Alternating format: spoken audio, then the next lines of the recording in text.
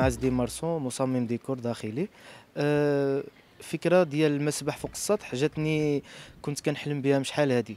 فالحمد لله دابا حاولت أنني نقدر نحقق الحلم اللي هو حلم كان صغير. آه، الفكرة جبتها من بعد الجزر كاينين آه، كيطلعوا على بعض المناظر. عندهم بعض المسابح فوق السطوح فمن ثم حاولت أنني نجيب الفكرة ونطبقها فوق السطح في حي شعبي في مدينة طنجة. بحكم أنه السطح ديالنا كيطلع على واحد المنظر اللي هو جميل كيطلع على المدينة كاملة فحاولت أنني نعمل بعد آه بعد الأعمال كتشبه ديك الجزر.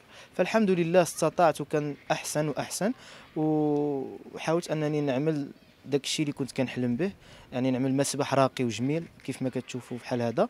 فالحمد لله استطعت وقدرت نعمل هذا المسبح هذا. لا ما كيشكل شي نهائيا شي ضرر على المنزل. بالعكس هو الوزن ديالو ما كيفوتش 1500 كيلو. ف 1500 كيلو ما كت ما كتأثرش نهائيا على الضاله يعني سقف المنزل. فما عنده على شي أثر.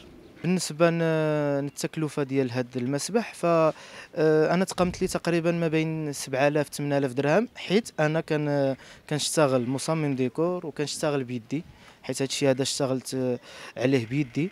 فكان يعني آه، الخسائر اللي كانوا في هذه البلاصة هما أنني كنت كنشري الحاجات اللي كنحتاج.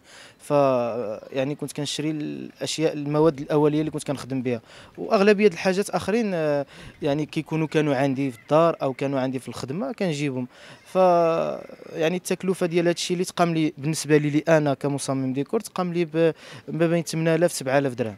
هي الفكرة المسبح كانت قديمة ولكن بحكم أنه كاينة جائحة كورونا آه، والمسابح والبحورة واقفين فحاولت أنني نعمل واحد آه، متنفس لعائلتي ولي أنا في الدار ديالنا.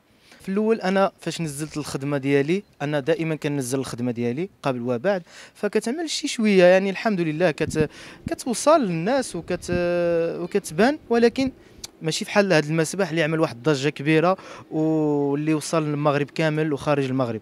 فالإحساس ديالي أنا فرحان بزاف وفرحان بالخدمة ديالي حيت كتبان وكيشوفوها الناس بزاف وهذا شرف ليلي.